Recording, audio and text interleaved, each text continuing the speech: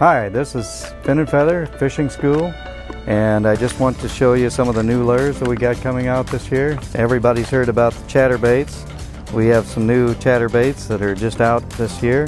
Uh, we also have the chatterbait in the crankbait version. Some of the new walleye jigs that we have this year are the new hutch bait. We have a lot of the new Strike King, uh, Lucky Strike lures put, put on with trailers. We also have the new hutch jigs. There it is right there. Great looking jig. Won't be long for crappie for its crappie season, and we're gonna rig up one of these things and show you how it works. You just put it in, keep the little tail away from you, put it halfway on, slide it on, and you've got a little minnow that's swimming through the water like that.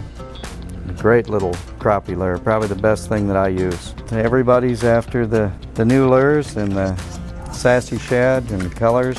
Uh, another thing we have is these new lures right here, which are kind of a jigging worm, which you barely, barely move it, and uh, it looks like it's a, it's a good early spring lure too, but it's a, a jigging type of a worm.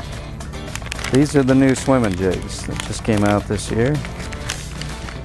And this runs either underneath the water, but usually right across the top, and it wiggles back and forth like that. It's a hollow body, so it looks like a big, big, big minnow. And here's another new one. It's Lake Fork Hyper Freak. And this is a lure that's got a big paddle tail on the back end of it. It looks quite unusual, but it's supposed to be uh, great in the Bassmaster Tour right now. There we are. Thanks a lot for joining us here at Fishing and Fin and Feather. Thank you.